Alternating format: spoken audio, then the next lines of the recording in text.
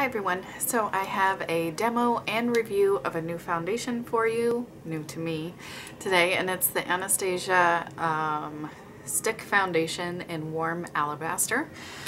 My skin tone is, uh, we'll say NC5 to NC10. Oh dear, are you going to be able to see that? I changed the settings in my camera because I was filming with a like matte background, which I still have some kinks to work out with uh, with the lighting. I changed the exposure in my camera. So we'll see. I hope it doesn't get washed out. So I'm not, anyway. um, so it has, uh, on Anastasia's website, slash Sephora, they call it something like very fair with yellow undertones.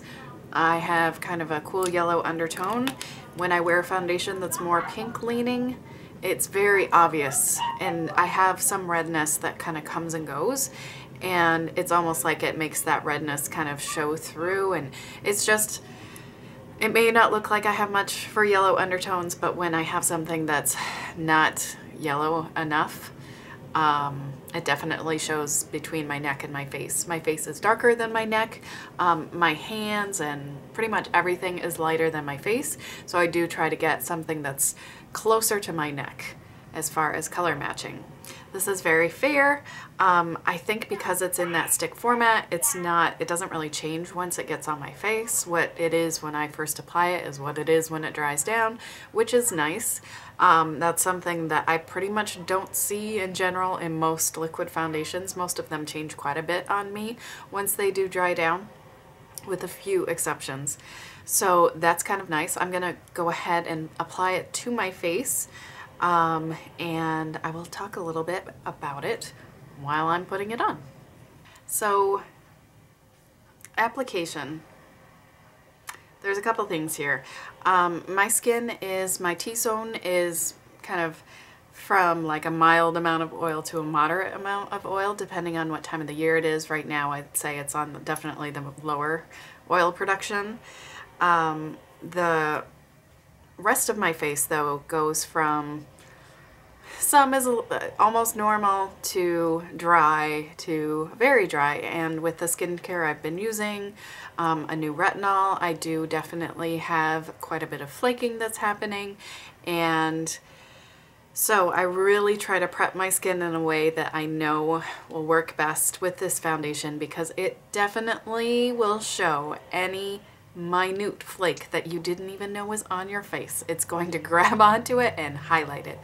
So what I did was first on the areas that I know are very dry, I use the Embryolisse um, Lait Creme Concentré because in the past I found that this really does, for whatever reason, it seems to make my dry areas pretty happy. So that I did before my SPF and then for my SPF on most of my face I use the Paula's Choice Skin Recovery SPF 30 and this is quite moisturizing so I use this everywhere except for my nose essentially and then because foundation tends to slide off my nose I use the Paula's Choice Resist uh, Super Light Daily Wrinkle Defense and SPF 30. This is almost like a smoothing primer almost um, it just really sits on my skin well and if I'm going to have um, longer lasting foundation on my nose having this SPF underneath and nothing else really seems to make a difference.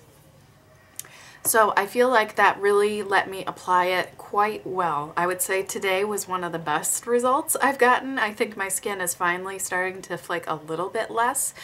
Um, in the areas where I don't have a lot of dryness, I think it looks beautiful. I really do like it. I feel like it has quite a natural finish. Um, and the color I think is quite nice for me. I didn't put any powder, blush, or anything on it right now, so you, you could just kind of see it how it is. Um, lasting power, except for in my nose, I feel like it does last a good eight plus hours. Um, and it looks good as long as I don't have any flakes. So it lasts nicely and it wears well with the exception of dryness. So if you have very dehydrated, kind of flaky skin, I would steer clear because it's just not going to look good. But if you are a little bit more on the oily side, I think it's definitely worth trying out. I really like that it's only $25. Um, so many foundations now are like 35 plus when you're looking at non-drugstore, so it's nice to have an option that's only $25. I feel like that's much more reasonable, especially if you can, you know, buy it at a discount as we all like to do. Um, so applying it, as you probably saw, I feel like the, I read the instructions because I wanted to try to apply it the way that they recommend. And they said basically draw it on and then blend it out with like a flat top um, blending brush, buffing brush, something like that. Or use a sponge. So my experience has been with the dryness using a brush makes it worse. It's almost like the brush will take any moisture that's in the foundation and kind of suck it up and leave even drier product to spread around on my face.